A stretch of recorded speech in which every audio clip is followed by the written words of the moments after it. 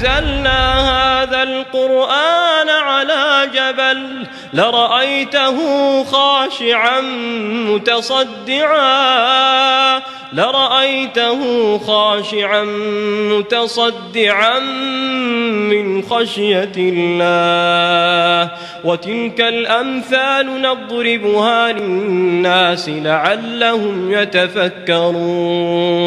Assalamualaikum good people. Welcome back to Ashraf channel. Ha Hari Rabu kan hari ni Tahu ke? Macam mana pula ada video hari Rabu Bukan biasa hari Senin ke macam? Aha, Yang inilah kita nak bagi tahu hari ni. Kita ada pembaharuan. Nah, Yang Acap tak cerita lagi kan dengan korang. Tak sempat lagi lah nak cerita.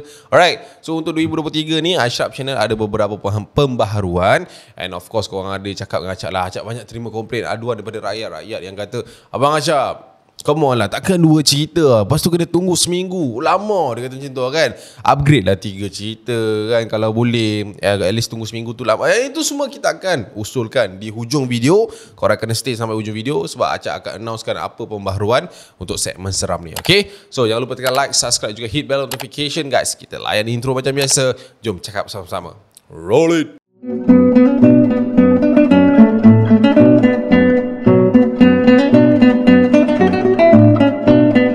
So okay, uh, untuk yang pertama ini ah, Hari ini kita nak cerita pasal asrama lah Kita buka lah gelanggang hari Rabu kita ni Dengan topik yang paling favourite di channel ini Okay, kita cerita pasal asrama ni guys Apa lagi kita nak cerita pasal asrama ni Acap rasa dah 2 tahun ni Acap dah cerita hampir uh, 12 ke 13 version asrama So hari ni nak cerita lagi ke pasal asrama? Ke tak nak? Tak nak? Tak nak? Serius tak nak? Pasal nak cerita pasal apa? Hospital? Oh no, hospital Hospital? Eh Yalah kita pun dah masuk ujung-ujung Eh dah masuk uh, tahun baru ni kan. Mungkin tahun lepas ramai orang masuk hospital apa semua. Hospital eh. Hospital macam Not bad ke lah Ke nak cerita dua-dua? Asrama ada Hospital pun ada. So kau nak macam mana? Ah mana-mana pun boleh Ikut aku. Alah korang ni selalu macam tu Bila tanya Ikut awak lah cap Alright. So kita start dengan cerita asrama dulu. Okay Cerita asrama ni Acap pernah kongsikan dengan korang uh, Sekitar tahun 2021 dulu. Uh, Yang ini macam rentetan tau. Dia bukan rentetan lah. Maksud aku Benda ni terjadi dekat asrama yang sama uh, Tahun yang sama Dan uh, terjadi lebih kurang 2 bulan Selepas kejadian yang uh, berlaku pada tahun 2021 Yang aku cerita tu. Okay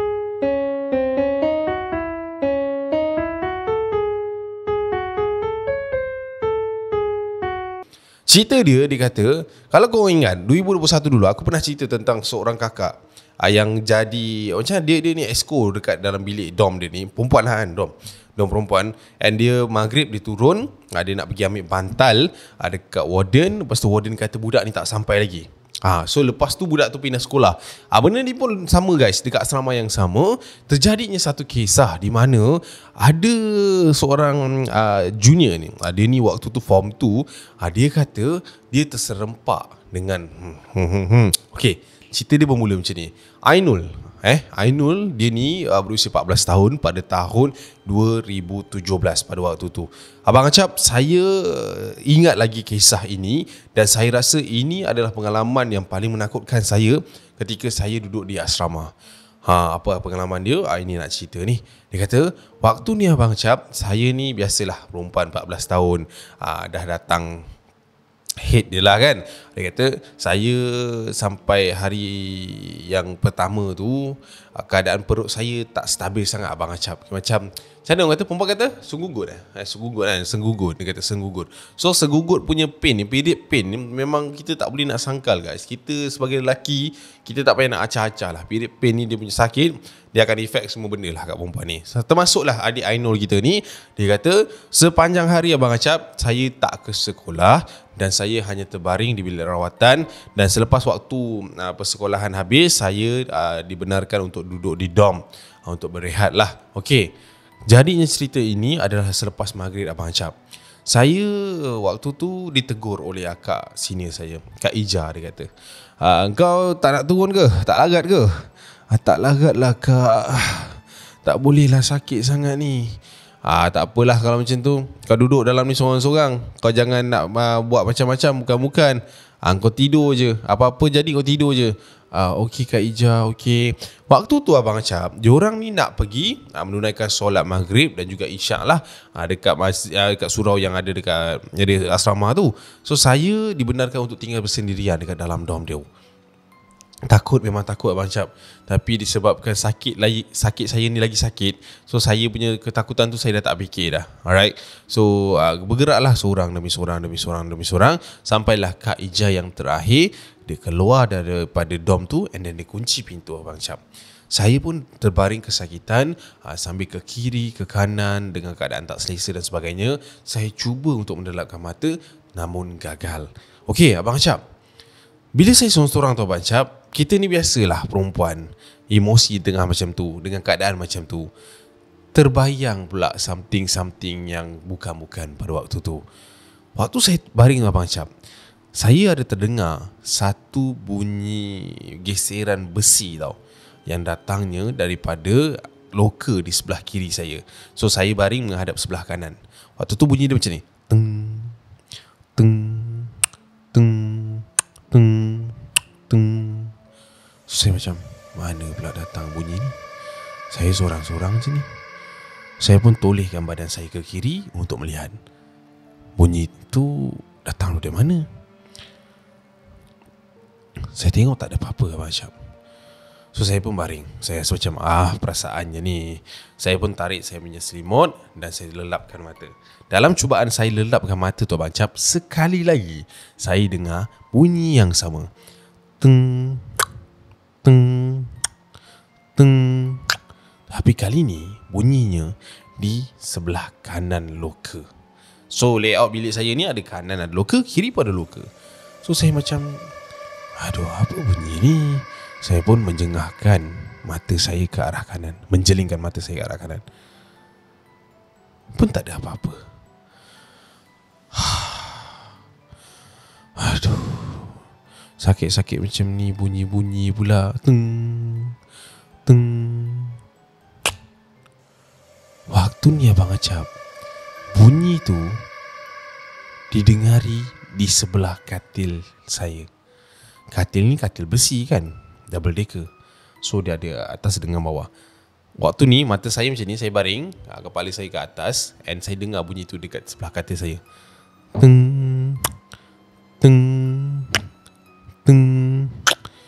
Saya buka mata saya Abang Acap Saya tengok ke Belah kiri saya.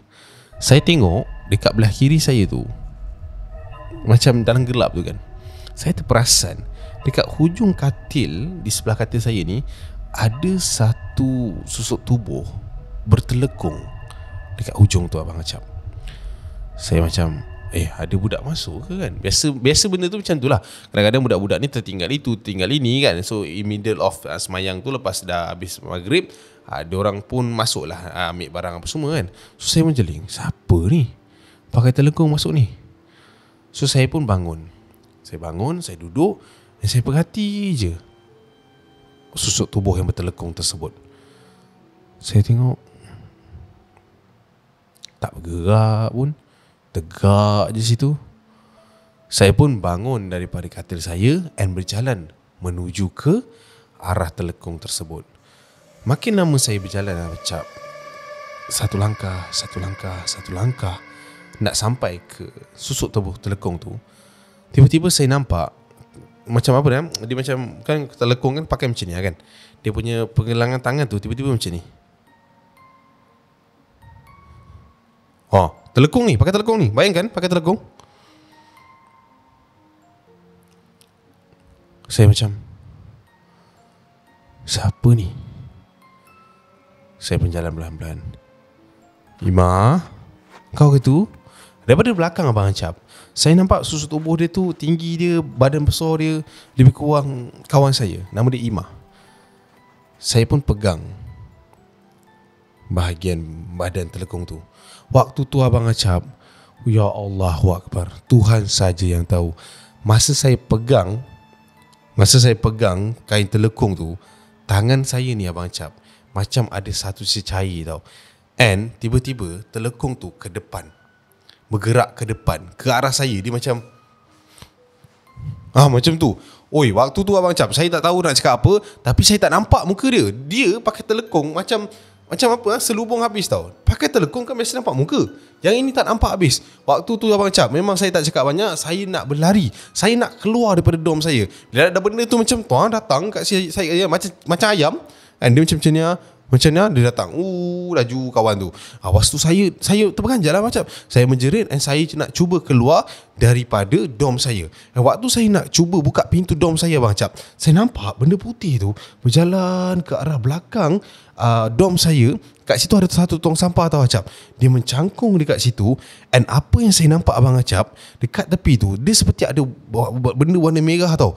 Yang keluar daripada mulut dia Panjang gila And then dia macam ada dekat area tong sampah tu saya tak tahulah dia buat apa.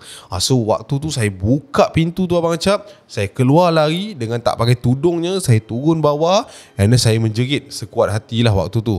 And waktu tu nasib baiklah ada kakak uh, senior yang ada dekat area situ, mungkin kakak sini tu pun uh, dalam keadaan haid kan tak datang uh, ke surau and dia nampak saya waktu tu dia kata saya dah menggigil-gigil abang Acap. And waktu saya nampak kakak senior saya tengah berlari ke arah saya untuk dapatkan saya dekat belakang belakang tu abang cap Saya nampak makhluk putih tu tengah ikut dia Faham tak? Kakak sini saya depan. Kat belakang tu dia tengah ikut juga. Oi waktu tu saya sekali lagi berlari. Saya naik terus atas surau Abang Syap Saya masuk dalam surau tu Saya menjerit-jerit. Ha, Dia kata waktu tu saya macam Dalam keadaan ter- kena rasuk lah. Tapi saya sedar. Saya sedar apa yang jadi. Orang datang kat saya Orang tangkap saya apa semua. Tapi saya macam tak boleh Saya tak boleh nak bercakap. Yang saya boleh menjerit je waktu tu. Sampailah satu ketika Saya rasa badan saya lemah gila. Saya jatuh. And then uh, saya tak sedar apa sangat. Uh, Apa yang saya sedar Saya dalam bilik rawatan Ada dengan beberapa kakak senior yang lain. And besok pagi tu Saya dapat uh, Apa pelepasan Untuk balik. And mak ayah saya datang ambil saya. Sampai hari ni Abang Cap sebenarnya Saya blur apa yang jadi malam tu. Tapi menurut uh, Kakak senior saya yang cerita kepada saya Hari seterusnya Dia kata Saya menggonta-gonta Dan saya kata Saya nampak Benda putih Dia kata Dekat dalam dom tu And sampai hari inilah saya kata agak trauma juga untuk tinggal dalam dom tu seorang-seorang. Uh, saya dapat habiskan sampai form 5 duduk dalam asrama tapi yalah saya tak akan duduk seorang-seorang lagi lah. Kalau saya tak sihat ke apa suka, saya tetap akan ke surau lah walaupun saya tak masuk dalam tu. So itulah dia guys cerita daripada adik Ainul kita. Oh benda-benda macam ni yang buat kita trigger nak duduk seorang-seorang kan.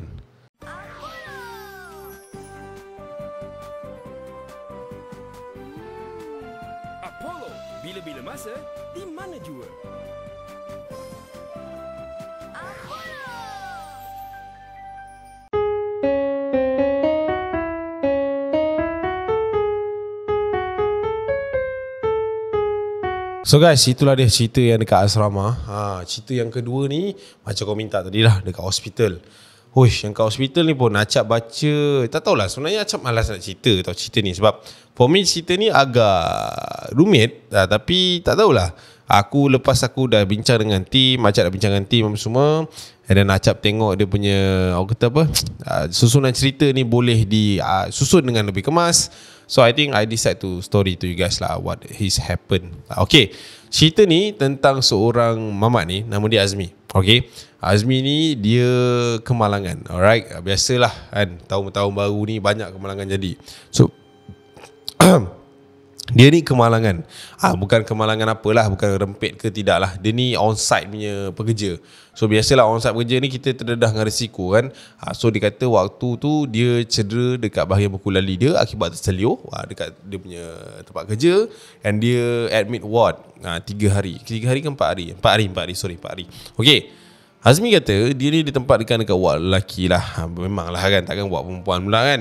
Ha, Kisah ni berlaku acap Dua bulan sebelum PKP berlaku. Oh, Kau bayangkan Kan? Okay Waktu ni abang acap Eh waktu ni dia, dia, dia abang. Waktu ni acap Aku dengan kawan aku ni uh, Biasanya kita orang akan uh, Kata apa? Uh, Stay up Ha, maksudnya kawan aku ni akan suka jaga aku ni malam.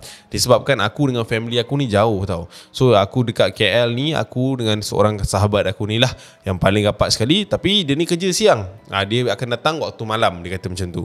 Ha, So member aku ni jaga aku ha, Starting biasa pukul 9 dan ke atas lah. Ha, So kita orang ha, Bila malam-malam ni kadang-kadang borak dan sebagainya. Okay Masa hari pertama tu cap tak ada apalah yang pelik. Biasalah hospital Orang sakit. Kau dengar orang mengerang malam-malam kan Tiba-tiba. Tu semua benda biasa cap Okay Disebabkan aku punya buku lali ni Orang kata apa? Terpeot Kan? Maksudnya Ni serius juga lah Buku lali aku ni. So nak berjalan ni Take time. So aku ni perlukan wheelchair uh, Untuk berjalan. Uh, Untuk bergerak ke mana-mana lah So bila malam tu Kawan aku lah yang bantu. Masuk malam yang kedua cap Katil sebelah aku ni Masa hari pertama Kosong. Lepas tu Masa hari kedua tu uh, Maghrib tak silap aku. Lepas maghrib uh, Lepas aku maghrib Aku terlelap sekejap. Tapi bila aku sedar waktu tu Katil sebelah aku ni dah diisi. And ada seorang pakcik Yang nampaknya tu, dah, dah, dah lebih kurang 60-an macam tu lah. Uh, Dengan kaki dia pun berbalut Tergantung. And ada seorang anak perempuan dia jaga Waktu tu. So aku pun tengok pakcik tu. Ha, tapi sebenarnya bukan nak tengok pakcik tu sangat lah Aku nak tengok anak dia sebenarnya Dia kata. So aku pun tengok anak dia Dia kata macam tu. So waktu tu aku tak adalah tegur pakcik tu Sebab pakcik tu pun dah ada Dah macam dah terlena-terlena sebagainya lah. So kawan aku pun sampai cap Pukul 9 Oh wish Sekejap aku. Sekali So waktu tu cap Aku hanya berehat Dekat katil aku. Ah, Tak tegur apa-apa. Pukul 9 lebih Kawan aku pun sampai. So bila kawan aku sampai Aku cakap dengan kawan aku. Eh Rul. Sebelah ada patient baru. Tu Ah tu tu aku nampak oh pakcik tu. Kesian tu Kan kaki dia gantung umur macam tu kenapa tu? Tak tahulah. Tapi tadi aku nampak ada anak perempuan dia seorang. Sekejap lagi anak perempuan dia masuk Kau tanya dia Ah okey Cun Ha, So kita orang pun berborak lah benda lain. Borak punya borak punya borak punya borak. Waktu telah menunjukkan pukul 11 malam jam Aku toleh ke belah kiri aku Kaki kiri aku Aku tengok. Mana anak perempuan dia ni? Kan Tadi lepas maghrib Ada. Ni tak ada pula Dah balik ke? Eh Kau wajar gila kan Tengok bapak dia macam tu lah Bawa masuk hospital tu kau balik. Eh Rul. Anak dia tak sampai-sampai lagi tu. Ada hal kot Dah keluar ke apa? Sekejap lagi tengah malam ada tu. Ha, Mungkin lah. Ha, Dah tak apa Kau rehat je lah. Ha, Sekejap lagi apa-apa panggil aku eh. Aku nak pergi isyak sekejap. Okey okey cun cun So member aku ni pun keluar daripada Apa ni? Daripada ward tersebut And then Aku pun baring lah. Pukul 11 baru nak isyak kan Biasalah dah borak Dah, dah tak perasan kan. Okay Dia baring Aku pejamkan mata cap So waktu aku pejamkan mata tu Aku terdengar cap Ada suara Yang panggil aku. Abang. Abang. Abang. Oi Allahu Akbar.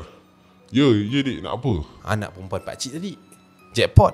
Dia tegur aku dulu Ah kenapa kenapa? Ah, Abang ada surah Yasin tak? Ah, Ada Boleh pinjam. Ah boleh boleh. Ah kejap. Awak ambil dalam laci tu belah bawah. Nampak tak? Ha, budak perempuan tu pun tunduk and then dia angkat uh, buku apa ni buku yasin tu and then dia pun berjalan ke arah katil yang tadi. Ha, tadi sempat jugalah ucapkan terima kasih dekat aku.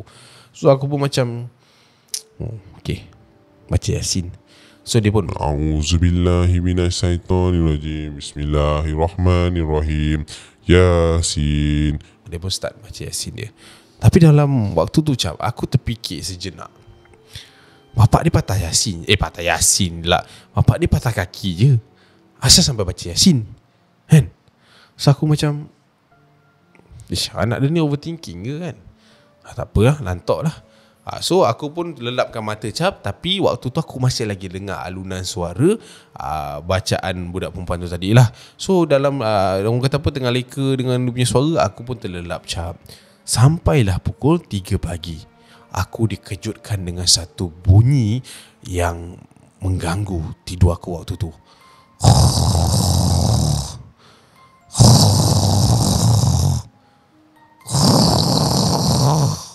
Bunyi dia macam tu cap Waktu tu aku tengah lena And aku rasa macam tersentak waktu tu. Bila bunyi tu semakin lama Semakin kuat.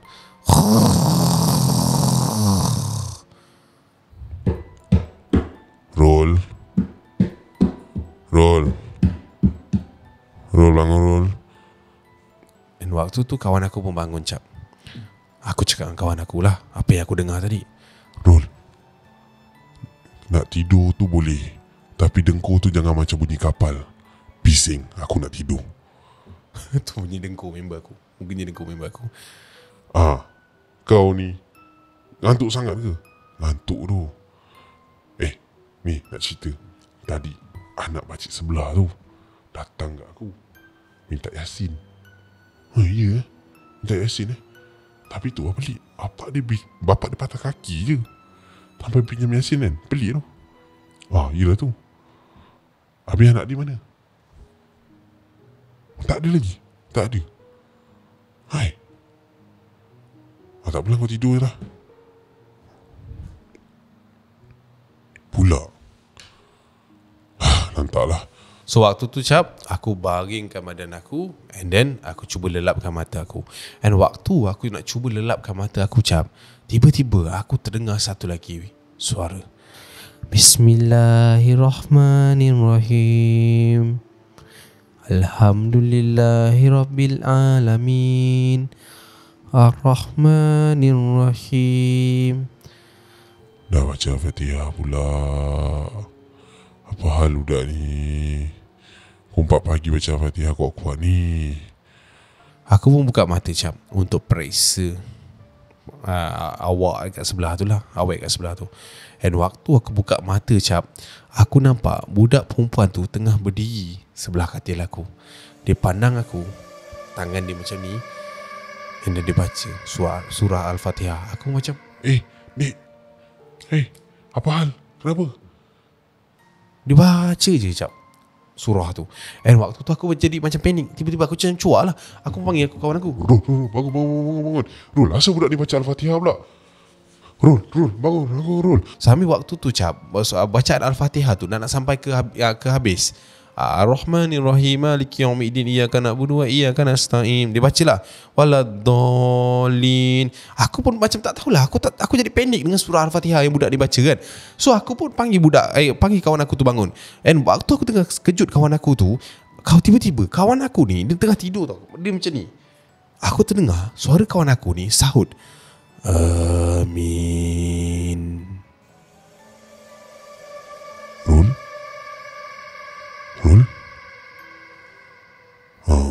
A'udzu billahi minasyaitonir rajim. Bismillahirrahmanirrahim. Yasin wal Qur'anil Hakim. Aku toleh ke katil pakcik tu sekali lagi cap. Kali ni anak perempuan dia tengah duduk dekat sebelah bapak dia dan baca surah Yasin.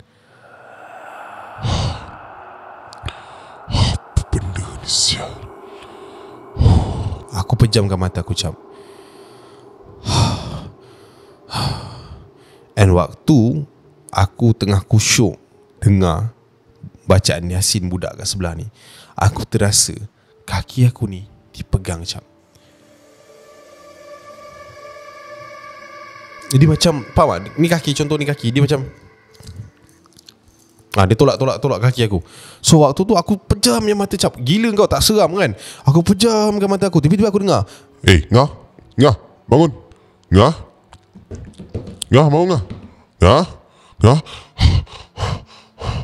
Aku pun buka mata cap and aku nampak kawan aku Rul tu tengah kejutkan aku. Ah, dia tengah bersongkok, berkopiah and dia kejut aku sebab dia panggil aku ngah, dia panggil aku ngah. Dia tu, aku pun tengok dia. Eh, Rul, kau gimana? Aku baru lepas subuh ni. Hah? Subuh? Bukan kau tidur tadi ke sini? Eh, tak ada. Mana ada? Aku baru je ni. Tadi aku tengok kau tidur nyenyak. Aku tak adalah kacau. Eh, tak ada. Aku tak tidur. Tadi aku nampak budak ni baca Yasin. Lepas tu dekat sebelah tu ada bapak dia. Ah, Dia baca Al-Fatihah. Lepas tu kau... Apa kau ni? Bapak apa? Anak apa? Katil kau sebelah tu mana ada orang? Ya. Katil sebelah aku tu kosong cap. Tak ada orang langsung. Bukan tadi kau pun nampak ke ada pakcik kat sebelah ni? Tak ada. Aku layankan kau je tadi. Aku ngantuk. Sebab tu aku aku rasa macam tak kena dengan kau ni. Hah? Hai pakcik tu. Tak, dah dah. Kau istighfar banyak-banyak.